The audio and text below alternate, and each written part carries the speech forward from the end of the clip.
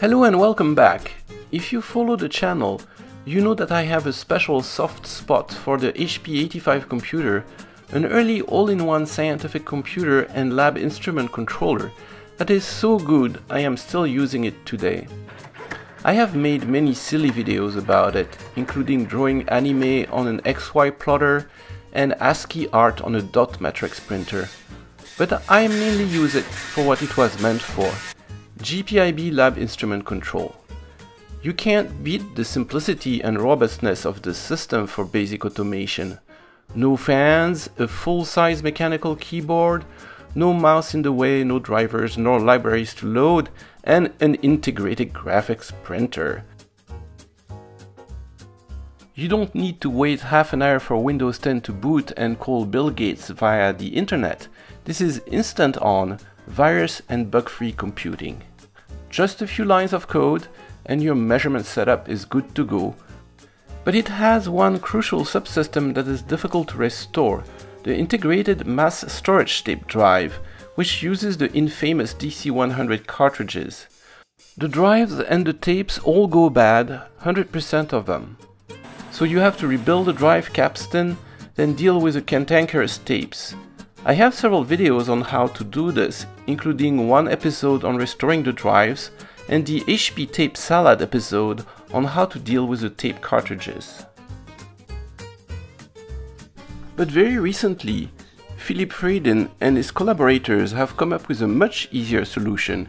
It's called the EBTKS board and all you have to do is plug it in at the back of any Series 80 computer and you are good to go. For those of you who have an HP 85 or follow the channel, you know that the bane of those machines is the tape drive, right? Absolutely. And so, Philip, you have come up with a solution. Yeah. Well, it started off with um, a, a, friend gifted me an, an HP 85. So I tried to use it, and the tape drive had a, uh, the capstan was goo, and Yes. and so I figured out how to fix it, and then I got some tapes, and as soon as I put a tape in there, the drive belt had bonded to the tape. Oh. And as soon as the tape moves, it rips the oxide off in the directory area. You fell into all the pits, right? So yes. Right. And so I was chatting to a friend of mine while I was uh, traveling in Australia, and I said, you know what? I bet we could find the interface signals that go to the tape drive and intercept those signals and build a hardware that emulates the tape drive. You know, it's taken us about a year and a half to get there, and you plug it in correctly, Right. and there it is. It's plugged Yeah. in. And so this machine is a donation. It's from uh, Robert Moon and the same guy that uh, gave me the, the, the, the uh, one of the plotters recently. We have never turned it on, uh, but I expect it. This, this doesn't even open, so I expect the tape doesn't work, and I don't know if it even works. But uh, no, usually I don't have stuff that filthy on, on camera. I cleaned it before. Yeah. Uh, but so we're going to Gives a character. well, this one is special, right? It's a, hey, you got a HP 85 out of eBay. It doesn't work, and no, we'll see if we can do something with the with the tape. I'm going to just turn it on. Um, there. yeah, the plotter worked, and I think Robert told me he had this one working. Ooh, it's noisy. Yeah. Ooh. Ah. So unlike a, Config.text format. Okay, series 80. What is this? this is EBTKS. Kiwi. and it booted. so why don't we turn it off and do that again? right. Okay. It's You want to experience that correctly? it's no. I, I I like the fact that we turned it with your stuff in and it it it, it worked. Keep keep on going. Oh, okay. It's basically uh, providing uh, uh, some new system ROMs that have some software that adds some new uh, basic commands. Oh, it's more than a tape. Yes, you should you Oh. should mention that it's way more than a tape. Tell me, I don't have to go on eBay and find my ROM drawers. Right, so you don't need a ROM drawer, and so the standard ROM drawer can take up to six ROMs. Yeah. E EBTKS can do 18 of them. And you have all of them. All of them are already preloaded. Kiwi. And then you don't have to get your extra 16. So you don't need the 16K memory module for the HP 85A. And for all the rest of the HP series computers, they have larger memory modules. EBTKS does all of those as well. So it supports the It actually A, supports the B. the A, the B, the HP86, the HP86B, the 87, and the 87XM. And for all of those machines, it adds 256 mem- uh, K of memory. and and you don't need a disk drive either Nope. because it's in there too. Right. It's currently emulating five floppy disk drives and one Winchester drive. So EBTKS stands for Everything but the kitchen sink. oh, hence the kitchen. Sink. And here's a kitchen sink on the back. well, it's well named, Philip. Well done. Okay, so it's come time to. Uh, so right now the, the tape emulation cannot work because we have the tape still Right, attached. it's still connected. So we're going to open it up so you see what's inside. But actually, you, you were making a good remark. This okay, it it emulates the tape, but since you have the disk, Right. once you have done that, you'll probably use the disk right. emulation, right? So so the disk I really use I use for archiving, but I, I really use it because it's an it's an external device. But if it's all in one, you would only yeah, use that yeah, one. It's right. it's much more powerful. Yeah, yeah. So it all ends up on one SD card, just as so. For each disk, there's a separate file.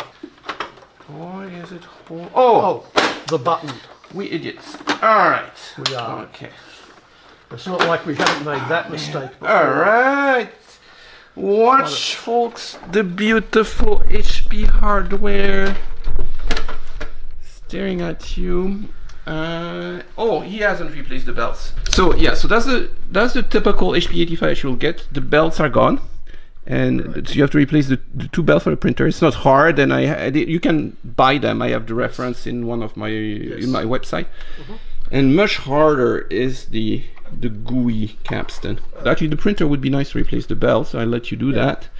Uh, but we're just going to disconnect the tape, right? Right. Now, the right way to do it is with a shim uh, to protect the cable as we Let's pull do it out. Let's do it the right way. I'm going to do a very scientific cable pull. I just usually just pull them carefully. Right. And the problem is that that damages the cable. Yeah, they're extremely fragile. Yep. And then once those are gone, they're extremely hard to Yeah. repair. Okay. So I've set the caliper for 1.7. Okay. Going, going, gone. Yeah, yeah, go, go. So any any piece of packaging will do. Okay. So, craft on the air. Okay. And let me now square it up. Okay, so that's nice that way. And let me see, I think that needs about there, let's see how close I am. There. Pretty good. Yeah, Okay. I'm within 20 thou. Precision engineering. So, Okay. just to give me easier access, you loosen two screws. You don't undo it, take them all the way out. Okay, so, and you just put a little bit of pressure on the keyboard, and it folds up. And so, thank you very much. And now, You need you need the extra finger. Usually I put a screwdriver. push the cable aside and then line that precision shim in place and then wiggle it in Uh-huh. and then with a calibrated finger pull both the cable and the shim out together Ah, so they don't delaminate. and that then protects that protects these these from being dragged on the terminal Yeah, yeah, and you they, pull it they, out. they, they and they will ruin your cable Right, forever. and then we'll do the second one same thing I know you can't see it but trust me I'm putting it in there it is and then pull them out, hold them together, and pull them out together, and And that's, That's- it. that's now So, disabled the do you tape need to isolate them? Nah, I No? don't, I don't bother. Well, I just typically just fold them like that, Okay. right? So, put the keyboard back down. And so now your card will recognize that we are not hooked up and will Uh-huh. start the tape emulation. Is that how Uh, it no, works? it won't. It needs to have we, we actually need to put the SD card into a computer and change the, the configuration. Oh, file. you have to tell it. Okay, we'll do that. Okay, so uh, I put the micro SD in the reader, and you are going to tell me what I ought to do. Ooh, that's that's full of stuff. Yeah, there's 57 megabytes of stuff. Yeah, on, on the computer that originally had 16k of memory. All right, so what do I do? You o- uh, open the file config.txt, Config.txt. Here we go. and if you look near the top, Yes, there is an entry for tape. And it And says nothing. Oh. It Oh, says enable is false. Change that from false to true. okay. True, and that's because now I have N- now, re- removed the cable. right. So, I, so now- I just save it, yep, and we're done. and then I can see the entries I recognize. It says all the these are the ROMs. Right, and some of them are have true, which are enabled. Some of the ROMs are options that you can turn on by changing them. All right, so that's the equivalent of plugging or unplugging a ROM. That's your HPIB devices. So And those are the disks. the disks at 300, 301, 302, 320, 321, 330, 331, Mhm. and you can print to the printer is at 10. 310. Okay. Okay. Or 310. I Yeah. see it here. Right. Let me see if I can catch that. 310. So that's the that's the printer. It's at 310. Right. Excellent. So I save that. Uh, yeah, and this is where it does the extended memory for the 86s and 87s, where you can have up to Oh, that- 256k of memory. Modern witchcraft. My, Yes, my indeed. computer doesn't do that. So now, if we turn it on, it should do the tape. Okay, what makes that noise? It's coming from the switch mode power supply. Yeah, bad cap.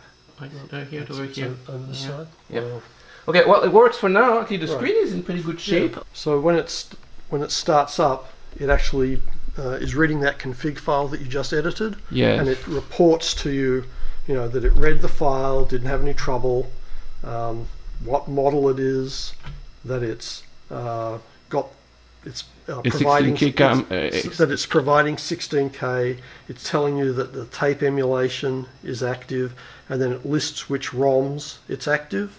So I'm just scrolling it up here, and so it lists all the ROMs that got Mhm. loaded, Mhm. and then after the ROMs, it then lists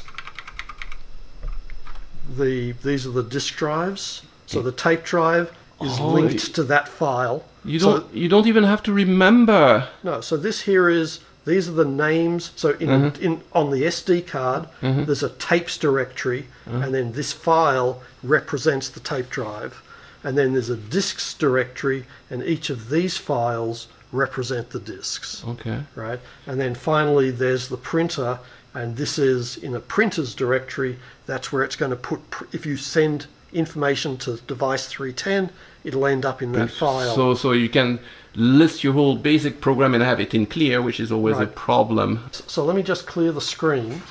So a standard HP85 command is cat to do a catalog of the Yes. disk. Yes. Yes. So this is a catalog of the virtual disk, right? And so these are a bunch of test programs that Also, wrote. by default, uh, the the lowest number select code, which is three, which we took ownership of, and then the first disk drive on that uh, it becomes the default. So by Oh. default, we provide the the which is probably what the user will do, right? Because the Right. tape you don't want to. So, Right. so you have a you have better than a tape. You have Yes. a you have a disk file. yes. So when you do cat, when you save, it would save Right. there by default. Right. Okay. Okay, so one of the things I didn't mention is E EBTKS also provides a real-time clock, and we have a little program called Date Okay. that lets us look at it. So let me load that program. Um, so you just go load, quote D-A-T-E. Okay, so that's loaded the program, and I'm going to list it for you. Right, it is stunningly complex. That's one of the new keywords, which is date time Okay. and it returns the year, month, day, and seconds since midnight. It then prints out year, month, and day, and then these calculations turn seconds from midnight into hours and minutes. Okay, and now I'm going to run the program. But the new keyword is just once date. Right, it's just one one date called time. date time, and it returns the date and the time. It knows about year tw- tw- 2021. Okay, Right, you have. there it is today. Yeah, you have Okay. you have pimped up the HP85. Do, do you have actually the uh, on one of your ROMs? Can you install the uh, service ROM? Yeah, it's built in. Okay. It was it was one of the ones when you were editing the file. It was the one at the top of the list, which was currently set to false. Right, right. Because because Yeah. when when you that that one is on, it takes over. Right, and Oh, that, that that's Right. that's a godsend, right? So if you have Yeah. if you have an HP85 doesn't quite work, you can uh, turn that enable that on, and then it will you'll get into the into the service. the service ROM. Yeah, so that's built in.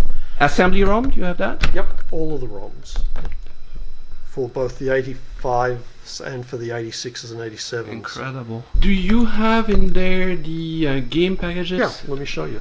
So it's actually mounted as um, uh, 301. Oh, it's, it's already mounted a disk Yeah, because yeah, yeah, that, that, that's the first thing you want to do, right? Is and it's always a pain to get the files back into the tape and Right, so there we are. Cat of colon D says a disk Mm. 301, okay. and there's all your favorite games. All right. Which one is your favorite? I don't know. Choose one. The Wumpus is the kid's favorite. Yeah, Uh, one that would make a good demo. Maze, maybe. there we are. Think that'll load it. Let me see. Yep, that loaded it. And right. Do you need instructions? Yes. You do? I have no idea what it does. Print out. Oh, it, it prints it. We'll need a printer. we would need a functioning printer. We need a functional printer. So it's a it's uh well you can do printer is um printer is one right was it Yes, to re- redirect so. to the CRT. Yeah, I think you can do that. Printer is one. Yeah, and then try to run it. Then do no. Then it will ask you dimension. Do I don't know small number six. Is it just one, a six or six comma six? I think it's six. Nope. Nope. How about six comma six? Oh. okay. Oh well, no, it works. It just out. It just. Uh, so we redirected the the printer to the screen, which is Mm-hmm. one of the good things of the HP85 is printer and screen. Uh, Yeah. we're, we're doing it. Okay. Well, of course now it has the Maze dimensions. 12. tw- uh, okay. That's too easy.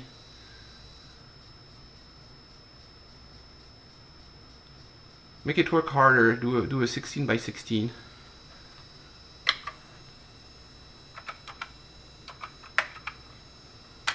Okay. Oh, that's hard.